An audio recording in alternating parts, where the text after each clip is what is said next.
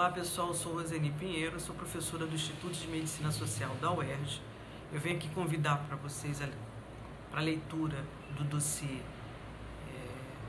Contribuições de Hannah Arendt para a Saúde Coletiva, Saúde, Direitos e Educação, publicado no volume 25 da revista Interface.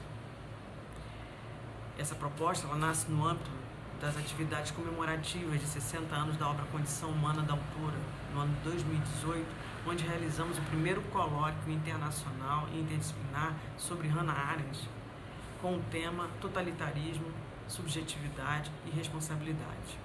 Nesse evento, nós conseguimos reunir diferentes pesquisadores, tanto no país como no exterior, especialistas no pensamento de Hannah Arendt. A possibilidade da gente levantar questões que possam de alguma forma encontrar saídas para a crise do contexto atual que nós vivemos é de fundamental importância. Paulo Henrique Martins, que faz a apresentação do dossiê, ele destaca a oferta de leituras teóricos conceituais que a filósofa traz, porque tratam dos direitos como norma jurídica do contrato social e como realização ético-política na vida cotidiana e com, neste dossiê, com quatro textos inéditos selecionados né, no âmbito desse colóquio, vamos ter autores da área das ciências sociais, das ciências humanas e também da saúde coletiva.